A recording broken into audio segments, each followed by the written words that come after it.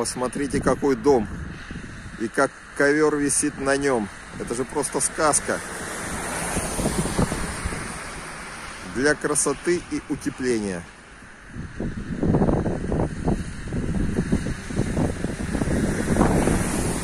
Никто не живет.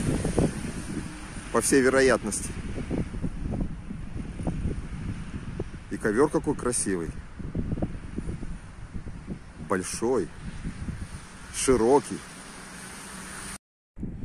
Тоже симпатичный домик. Аналогично предыдущему, с ковром. С небольшим ковриком. Справа от калитки висит. Маленький такой. Для хоббитов.